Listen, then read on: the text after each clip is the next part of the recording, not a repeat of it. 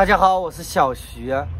新建的狗舍马上就要建好了，我想在搬家之前，给咱们所有的狗狗都洗个澡。